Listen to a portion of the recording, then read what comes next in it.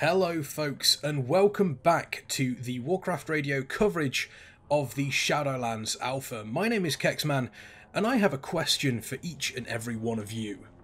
Just how close to a Dreadlord does Sire look? It's an incredibly close relation to the Nathrezim as we know in Azeroth's world.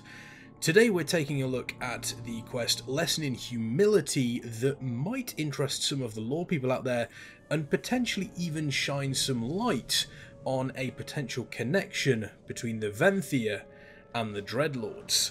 This is a very simple quest where we're taking a look at the judgment of the accuser as they judge her for her crimes that they perceive she has committed against Revendreth.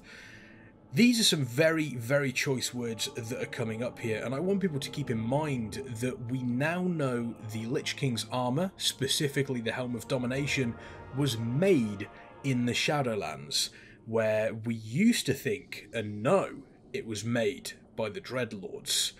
This potentially could hint at a connection between the Venthyr and the Dreadlords, even going as far as to say it's not so much a connection, more a case of they are one and the same. Now, in a moment, the accuser is going to say something very, very interesting indeed, and it's a very specific choice of words. She goes on to call Sire Denathrius once a Lord of Dread. And then Sire Denathrius goes on to say it was fear that ultimately broke her.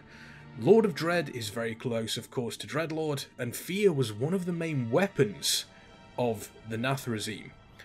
Is this a connection that we're going to find more of in Shadowlands? Or is this just a once off? We'll find out soon, I'm sure. My name has been Kexman. Thank you for joining me here on Warcraft Radio.